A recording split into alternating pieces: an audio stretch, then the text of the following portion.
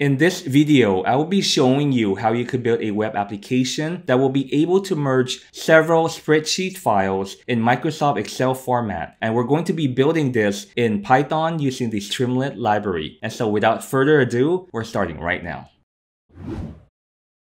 Okay, so the first thing that you want to do is fire up the terminal. And you want to go to the folder of the Streamlit Merge Excel application. So I have it on desktop and in the Streamlit folder on my computer. And it's within the Excel file merge folder. And let's have a look here.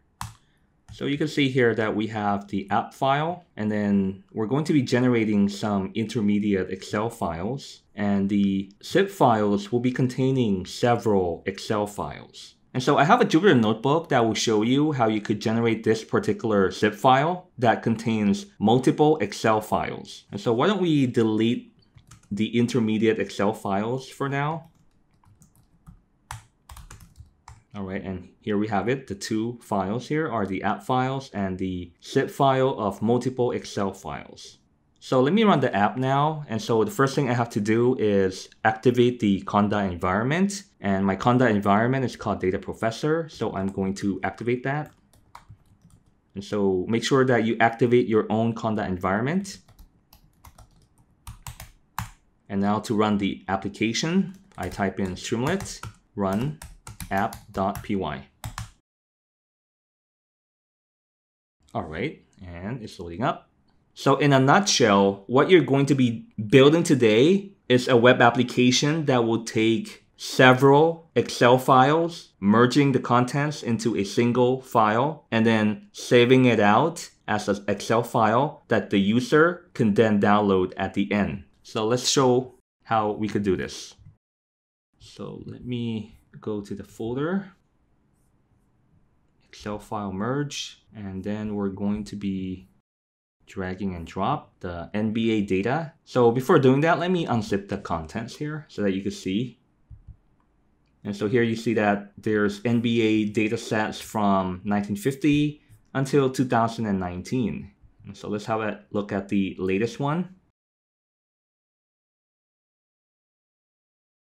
Okay, so this is the data for 2019. And so we have here, let's see, how many columns do we have here? We have 29 columns. And let's have a look how many rows do we have? 709 rows. Okay, so this is for 2019. And so here we can see the data of the various basketball players, the positions, the age, the team, and all of this. Okay, so in this app, we're going to be just stacking multiple Excel files on top of one another, meaning that the contents of one Excel file will be pasted at the bottom, like here. Let me show you. So the contents of 2019 will be pasted below the year 2018, and 2018 will be pasted below 2017. Okay, so let me show you by stacking another Excel file. Let's open up 2018. Let's see. All right, here you go. So this is the contents of 2018, and this is 2019. And let me open up 2017. Okay, so by stacking the contents, I mean that we're literally going to be keeping the number of columns to be the same and that the contents of 2018 would then be under 2017 like here. So why don't I copy and paste manually to show you? So this is the content of 2018 so theoretically we're going to be doing like this. We're going to paste the contents of 2018 underneath 2017 okay, like, like so.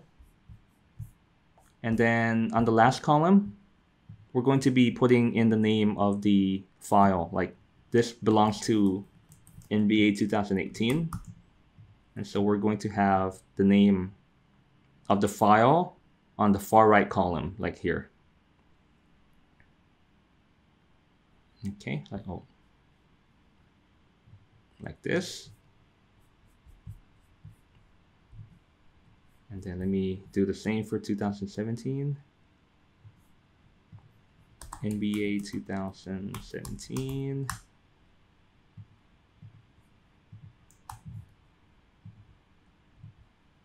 Like this.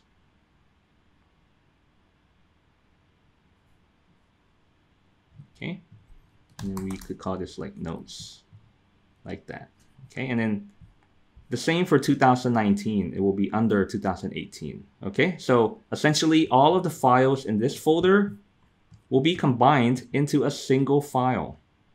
And so if we were to do this manually, you see that it might be taking you an entire day or at least several hours in order to do, while also being boring as well, and also error prone. And so how can we make this more efficient? Well, we could code it and we can make a web application that would do that automatically without being tired. Okay, so let me show you. All right. So let me delete the contents of this folder. Okay.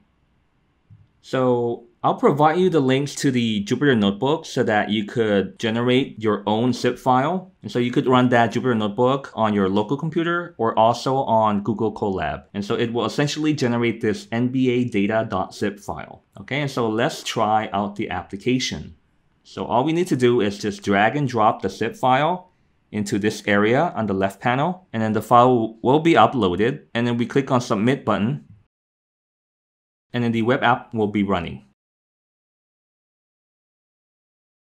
So you see here that an intermediate Excel file has been generated and you can see the merged data frame is shown here and there are 26,000 rows. Okay, so the contents of all of the Excel files were stacked on top of one another. So from the year 1950 until 2019. And so therefore we have over 26,000 rows of data. And finally, we outputted the contents of the merged data frame into CSV format and also Microsoft Excel format. Okay, and so let's try out by downloading both here. CSV file and Excel file. Okay, so both were downloaded successfully. And you can see here that the Excel file occupied 4.2 megabytes and the Excel file was 3.4 megabytes. And so let's open up the Excel file. So this is the merged version. And we can see here that there is the last column that contains the file name so that we can know which file the contents are coming from. And then you can see that there are 26,000 rows. Okay, and the file name is also at the far right. Right, so you can see that they're not yet sorted according to the notes here. And you could also do that in Excel or you could also do that in Python, whereby you could customize this web application to do aggregate functions, to do other exploratory data analysis, or also display some cool visuals as well from the combined data. You could also compare data from various years as well. And so I'll leave that up to you. Feel free to customize this web application, and you could include this as part of your own data science portfolio. So let me show you a step-by-step -step walkthrough of the code. And so before doing that, let me show you the contents of the merged CSV file. And so here we have it. Okay, this is the merged CSV file. Okay, and so let's get started.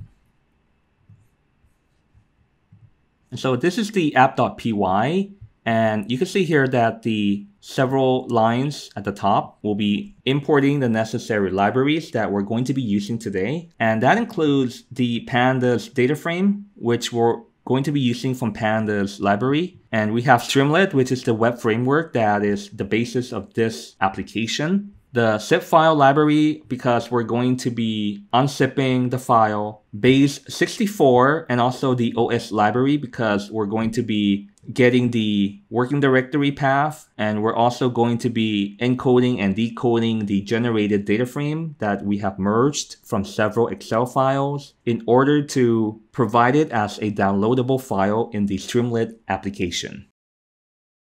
All right, and so lines 8 through 17 is displaying the top part of this web application. So it's displaying the name of the application, Excel file merger the description of the application, and also the credit of this application. Okay, so you could feel free to modify this web application with additional features and functions. And I greatly appreciate that if you could also leave the credits in your application as well. And you could say modified from this tutorial from Data Professor and Chanin Nantasenamat, which is my name, so that other interested individuals can also have access to this particular video and also the proper credit is given all right, and so let's continue.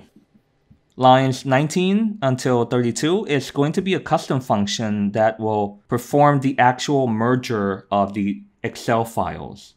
And other additional custom functions that we're going to be using is the file download as a CSV file and also the file download as an Excel file. And the actual core part of the code is just right here because we're making use of the custom function and therefore the actual code that will be running the functions of the application will just take a couple of lines that you see here, less than 10 lines okay, because the core functions will be performed by the various custom function. And because we create custom functions here, and here and here, the benefit is that we could just repurpose the function in another web application. So as you can see from prior tutorials, I've also made use of this CSV file download. And in this particular tutorial video, I've modified this CSV function in order to allow us to export it as an Excel file. And you can see here that these are the modifications that I have made. Okay. And so let's go into detail of custom function that allows you to merge the Excel files. So we created the custom function to be called Excel file merge, and it's gonna be taking in the input argument as the name of the zip file.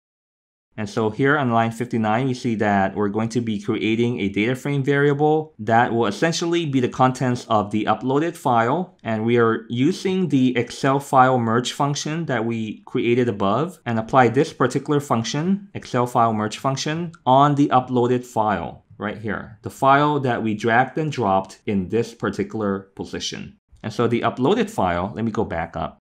So the file upload will be on lines 34 and 39. So here we specified that we're having the st.sidebar.header so that we have the header here to be upload your zip file. And then we have a small description, Excel containing zip file, which is right here. And then the type of the file is zip file. Okay, and then we have an example Okay, so I have to change this to the example zip file of the NBA dataset. So I'm going to be uploading that to GitHub and I'll replace that in place of here. And then I'm going to upload the updated file onto GitHub. And so here we write in Markdown the link in Markdown format to the example zip file. And the uploaded file variable that you saw earlier on right here, line number 59, is the file that is uploaded to the server, which is the zip file will be dragged and dropped in this position. And so this is made possible by the file uploader function of Streamlit library. Okay, so now that we have the zip file in the uploaded file variable, then we call the Excel file merge function and therefore the Excel file merge function will be performing its various duties on the uploaded file. And let's take a look at what it is doing here. So it's going to be creating a empty data frame and then it's going to take in the zip file, define the zip file, and then it's going to define the zip file as F. And what it's going to do now is it's going to list the contents of the zip file and then we're going to be running a for loop whereby for each iteration, it will do the following for each of the Excel file. So earlier on, we taken a look at the zip file, and so we saw that there are several Excel files, 1950, 1951, 1952, until 2019. And so for each iteration here, denoted by file, in each iteration, each of the file of Excel file, 1950, 1951, 1952, each file that has the suffix of XLSX, which is the Excel file. We're going to read in the contents of the Excel file. We're going to create a new column in the Excel file and then we're putting in the name of the file as the value. So I've shown you earlier that on the last column, we had a column called notes right here. and then it contains the value, which is the file name right here, so that we know which file the contents here are coming from, okay? And then once it has created a new column called notes, the contents of the particular Excel file, which is read in at each iteration, like as an example, if we started from 1950, the contents of 1950 will be appended to the data frame. And the data frame here, df, is the empty data frame. And so at each iteration, the contents of each file will be appended or added to this empty data frame one by one. And so over the iteration of all of the files, all of the Excel file, therefore all contents of the Excel files will be added one by one into this particular empty data frame. And so by the end of the for loop, the contents of each and every Excel file will be appended to the data frame here. And then finally, the data frame will contain the merged contents. And then at the end of the function here, we're going to be returning it as df. And so upon calling the Excel file merge function, using input argument, which is the input zip file name, we're going to get the contents of df, which is the merged contents of all of the Excel files, okay? Let's go to lines 42 and 48 here. So we see here that these custom functions will allow us to generate the links that you see at the bottom. So let me show you. Let me drag and drop the Excel file in the zip format here. Submit it and it's performing the merger. So after the display of the merged content here, you're going to be seeing two links at the bottom, which is made possible by these two custom functions. And so the first link will allow you to download the CSV file, which is right here. And the second link will allow you to download the Excel file, which will be returned at the bottom here, right here, the Excel file, okay? Let's have a look on lines 57 until 65. So in the main panel that you're going to see right here, we have the if and else condition. So if we have uploaded the file by dragging and dropping to this area here, to this upload box. And so if we drag and drop the zip file into this upload box, the if condition will be triggered. However, upon loading the application from scratch here, it's going to run the else condition. And so therefore it will be displaying awaiting for zip file to be uploaded. And so upon uploading the zip file into this upload box and clicking on the submit button right here. So if the submit button is clicked, it will perform the following. It will apply the Excel file merge function on the uploaded file and the contents of the file will be assigned to the df variable and it's going to be printing out the header here, which is merged data, which we will see. Let me show you. So it's printing out merged data. It's going to be displaying right here. And then it's going to be accompanied by the contents of the data frame. st.write the contents of the data frame. So here's the merged data header here. And finally, it's going to be using Markdown to create the download link of the CSV file, which is made possible by the file download function, and the Excel file, which is made possible by the XL download function. Okay, and so feel free to modify this. As I mentioned earlier, you could aggregate the data based on the player, based on the team, based on the position, or even based on the year. You could do various feature transformation. You could calculate averages of teams for the various parameters that you see here and modify this to your heart's content. And so feel free to drop a comment to the links of your GitHub repo containing the modifications of this particular web application. And so I love to see them and I'll be happy to provide some high level feedback. And so I hope that you're finding value in this video and please help us smash the like button so that YouTube can recommend this video to others who are interested in the topic. And please don't forget to subscribe to the channel if you haven't already and also hit on the notification bell so that you'll be notified of the next video. And so as always, the best way to learn data science is to do data science and please enjoy the journey.